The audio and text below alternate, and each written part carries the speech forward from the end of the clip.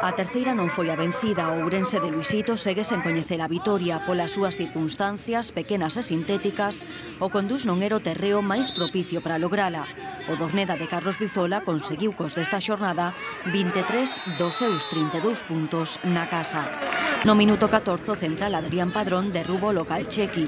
O colexiado Gonzalo Goyanes decreta a pena máxima. Lanza e anoto... Per...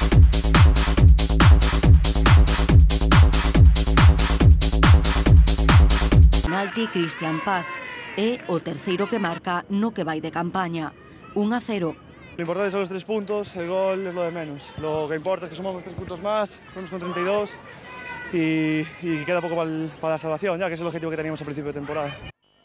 No minuto 30, nesta pugna entre Josu e Michi Castro, inexplicablemente o árbitro decide expulsar con vermella directa o xogador do Dorneda, Michi solta o brazo dereito, pero o capitán do Ourense tamén empurra. O conxunto do Leiros quedaba cun home menos con 60 minutos por diante. No segundo tempo, Ourense buscou o gol. Nesta falta botada por Mourinho, toca cos dedos o balón...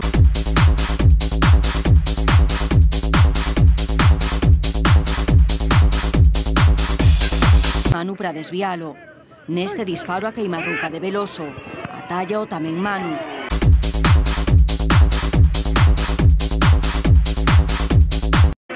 nestoutro centro de Veloso. Perdoa Campillo ante a liña de gol. Evita a Diano local Martín.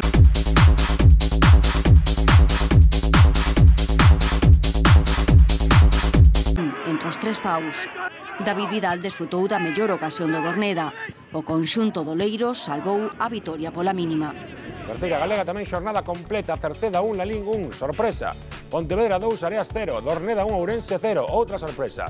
Somozas 2, Negreira 1, Sanxenxo 2, Alondras 2, tampouco puido gañar a Alondras. Betanzos 0, Vilalonga 1, Deportivo B1, As Pontes 2, Vilalbés 1, Ordes 1, Racing de Ferrol 4, Rápido de Bouzas 0, Estradense 1, Bergantiños 1, xornada con moitas sorpresas que analizaremos no en xogo ás 11 da noite.